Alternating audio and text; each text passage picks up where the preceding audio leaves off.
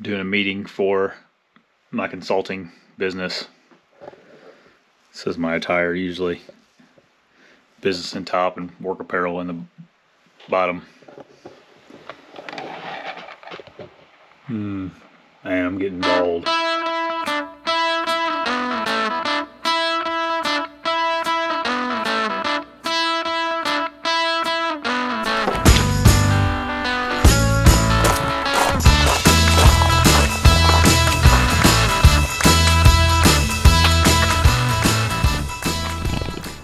Got the new Mobile Hunter pack from ASIO in yesterday and thought I'd do a video about it today.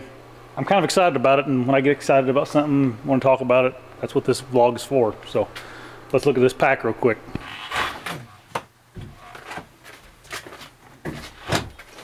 So this is the Mobile Hunter pack from ASIO Gear. Um, I think my buddy, oh, one second here.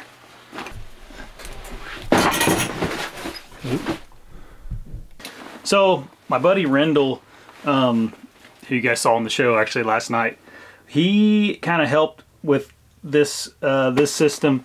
Uh, it's kind of a smaller version of their, I think they call it the tree stand pack, which is their bigger version of this, uh, with some modifications for like a, a mobile hunter. Where I could see this really shining is for you guys that are saddle hunting. Um, what's cool about it is it has these compression straps in the bottom of the the pack. And the way I'm going to run it is I'm just going to I usually run three B sticks. Take them off here. Three B sticks right here.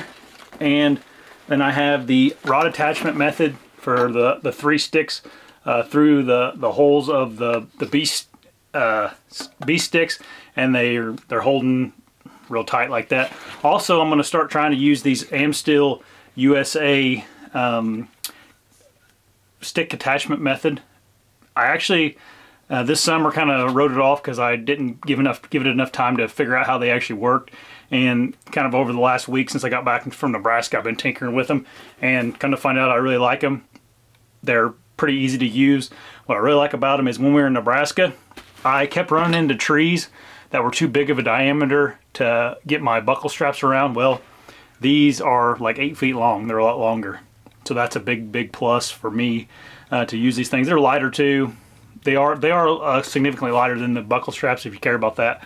My biggest thing was I after I left Nebraska, I was so frustrated with not being able to get into certain trees that I was trying to find something uh, bigger uh, to use. And I, I have that problem in Indiana from time to time too with like the big mature trees we have like in the Hoosier National Forest. So that's what I'm going to do with this this pack is is run these sticks um, underneath the the back of the stand. Of course, you're going to have to have your standoffs face it out away from the pack, uh, just so they're not scratching you in the back. And then simply just uh, throw them on the pack like like that. Then they have that, and then on the front they have two compression straps you can see here. And I think these are called auto lock uh, uh, straps, so they're super um, permanent. Once they're locked in, they, they don't they don't move at all. So um, they're super nice. And the pack itself is made out of uh, the fleece kind of material that all their clothes are made out of. So to the touch, it's really uh, quiet. Now, if you sit here and you know do this to the pack, it's sure it's it's loud because it's um, actually waterproof. So it has like a waterproof membrane in it that does have a little bit of a noise to it. But as far as actually like accidentally bumping it or something while you're in the stand or whatever the case may be, not an issue at all. And waterproof is really important to me when it comes to a pack because I this camera I'm filming this on costs $3,500. Like I, I got to have a good way of getting my cameras out of the rain whenever um, things uh, start raining or things get wet and this will protect my, my pack without having to do too much extra effort protect my camera without having to do too much extra effort um, when it comes to keeping all that crap safe. So it is it is waterproof. The zippers are are also waterproof and um, I don't know they seem like they're quality enough zippers to me. I don't know much about zippers but um, yeah. So that's the pack itself. Now as far as cubic inches, I think it's like 1800 cubic inches. Don't quote me on that. But it has a a, a wraparound zipper, so you can actually unzip the whole thing um, and get to anything that's in here. And to tell you how how much room is in here, I don't know, about that much. you can see um, my hand here. I have a fairly good size hand, and it's about as deep or as wide as my hand, and then you know about up to my elbows. How deep the pockets are. There are some internal pockets in here on each side. You can throw some stuff in.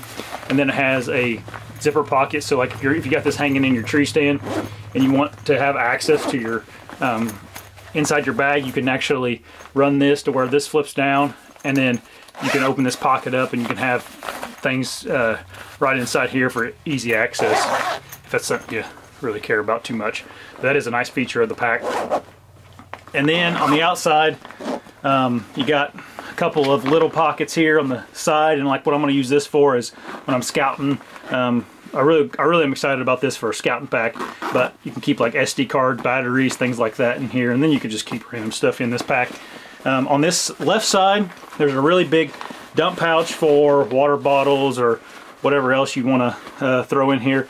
There's some like elastic things to keep things nice and tight inside this pack. I don't know exactly what that is for, but you could use it for all kinds of things, I, I guess. Uh, maybe for like a camera arm or whatever else you want to throw down in that pocket. Okay, now, I told you how I was going to attach the sticks to the bottom. Now I'm going to talk about the um, way I'm going to put my stand on here. The B stand is going to fit right on the back side of this pack and then you can just actually take these auto lock snaps, put them through the B stand. Now you got to loosen the straps first.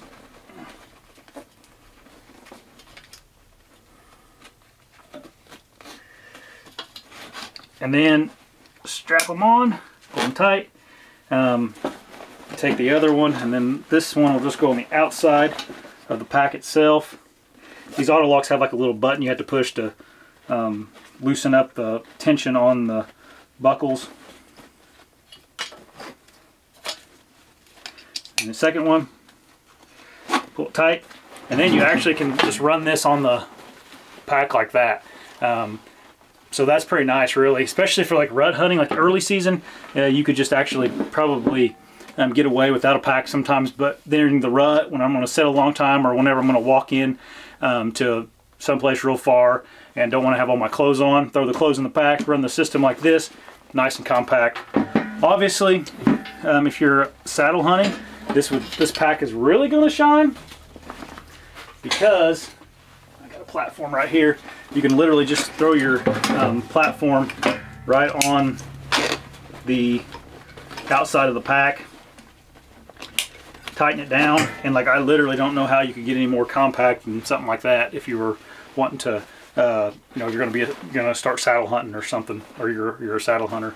So that is the mobile hunter pack from ASIO um, to be fair I haven't used it yet. I've just been tinkering with it but something that I, I really like the concept of it I'm gonna use it this weekend in Wisconsin hunting to test it out and see what I like about it and what I don't like about it. There's another auto locking um, auto locker over here on the side. So if you do put stuff in this little dump pouch in this in the side you can tighten it down. If you had a tripod um, say you're going scouting glassing somewhere you could throw your tripod in here throw your spotter in the big bag and hit the trail or whatever you're going to go. So that's the ASIO's new mobile hunter pack. I know they ran out of them on the first shipment here but there's more coming in a couple weeks so should be able to still get get them this year. If you got uh, a season coming up in October 1st, maybe you can still get them before then. But um, so far, thumbs up.